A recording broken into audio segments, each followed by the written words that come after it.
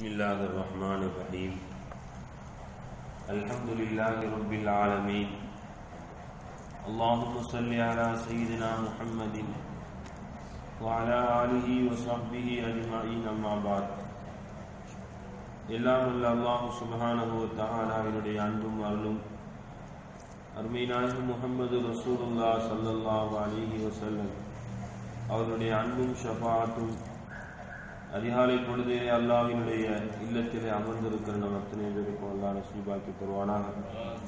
இந்த தினம் நாம் அறிந்து அறியாத எல்லா நலவுகள் எல்லா கயிறுகள் எல்லா பரக்கத்துகளையும் ரப்புல் ஆலமீன் நம் அனைவருக்கும் தந்தல் புரிவானாக. அதுபோன்று நாம் அறிந்து அறியாத எல்லா தீங்குகளை விட்டும் எல்லா முசீபத்துக்கள் மனச்சஞ்சலங்கள் கவலைகள் அனைத்தை விட்டும் நம்மையும் நம்மை சார்ந்த அனைவர்களையும் பாதுகாத்து நல்லவர்கள் புரிவானாக.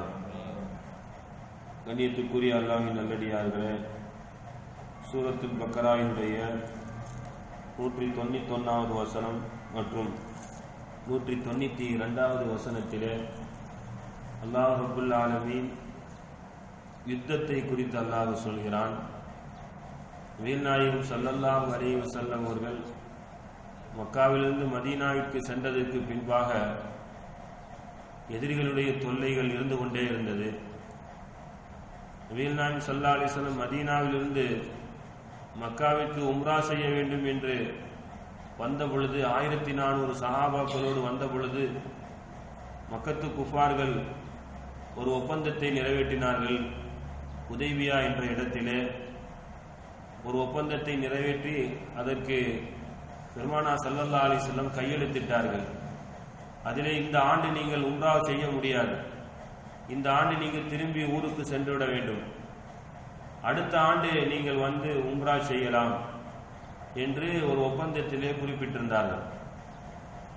இது ஹிஜிரி ஆறாம் ஆண்டிலே நடந்தது. வீல்நாயும் சல்லா அலி செல்லம் திரும்ப சென்று அடுத்த வருடம் வருகிற பொழுது சஹாபாக்களுக்கு ஒரு சந்தேகம் ஏற்பட்டது. இந்த மக்கத்து குஃபார்கள் நமக்கு எழுதி தந்த அந்த ஒப்பந்தத்தை நிறைவேற்றுவார்களா? அப்படி நிறைவேற்றாவிட்டால் என்ன செய்வது? அது மட்டுமல்ல நாம் மக்காவிலே சென்று போரிட வேண்டும் என்று சொன்னால் மக்கா என்பது ஒரு புனித பூமி மஸ்ஜிதில் ஹராம் என்பது. அங்கே ஒரு மனிதர் கொலை செய்தவர்கள் உள்ளே நுழைந்தாலும் கூட அந்த மனிதரை கொலை செய்யக்கூடாது. புனித பூமியிலே போர் செய்வது என்பது நமக்கு அனுமதிக்கப்பட்டிருக்கிறதா என்ற சந்தேகமும் அவர்களுக்கு வந்தது. அது மட்டுமல்ல நாம் செல்கிற காலம் அல்லாஹு தாலா வந்து போரை தடை செய்யப்பட்ட மாதமாக இருக்கிறது. துல்காதா துல் முஹர்ரம்.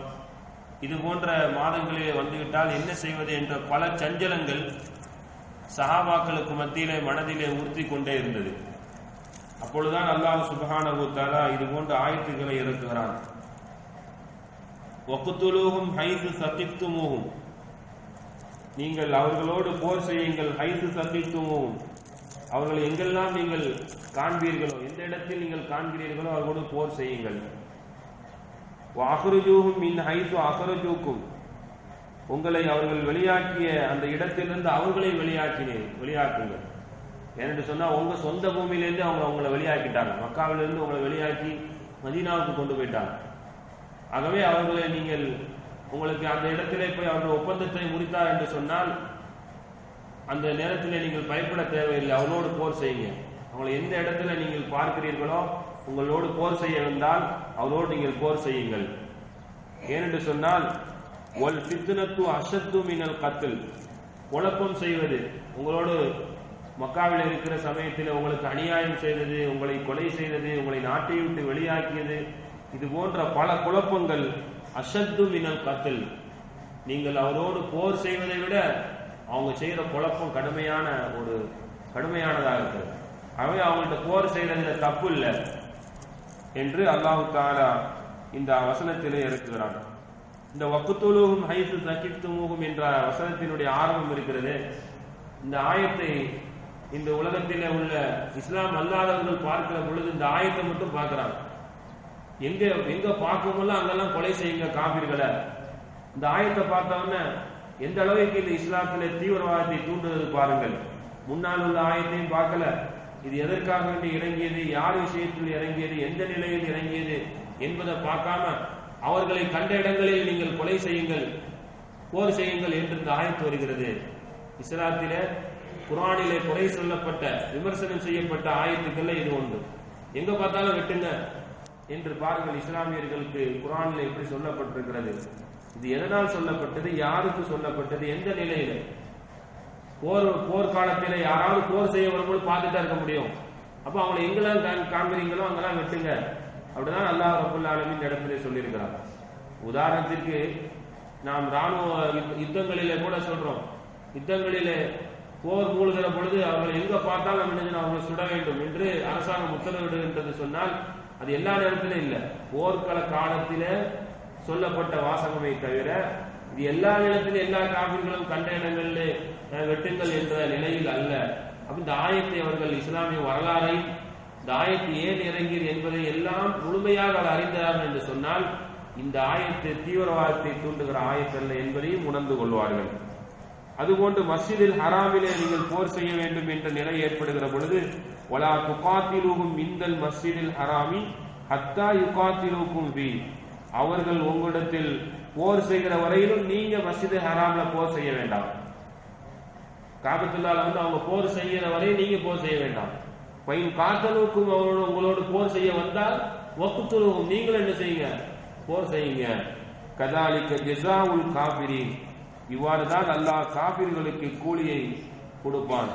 பையனின் தகவ் அவர்கள் போரை விட்டும் அவர்கள் விலகிவிட்டால் இஸ்லாமிய இறை மறுப்பிலிருந்து அவர்கள் நீங்கிவிட்டால் பைனல்லாக நிச்சயமாக அல்லாஹ் வபூர் ரஹீம். அவர்களை அல்லாஹ் மன்னிப்பவனாக இருக்கிறான் என்று போர்க்கள காலத்திலே எப்படி நடந்து கொள்ள வேண்டும் என்பதை அல்லாஹ் ரபுல்லா ஆலமீன் சஹாபாக்களுக்கு சொல்லி எல்லாம் அல்லாஹ் சுபானு தாலா குரானுடைய ஆயத்துக்களை விளங்கி செயல்படக்கூடிய நன்மக்களா அல்லாஹ் நம்மை ஆக்கியல் புரிவானாக. வாஹிரு தாவானான் அஹமதுல்லாஹி ரபுல்லா ஆலமீன். سبحان اللہ وبحمد سبحانك اللهم وبحمدك اشهد ان لا اله الا انت استغفرك واتوب اليك سبحان ربك رب العزه عما يصفون بسم الله الرحمن الرحيم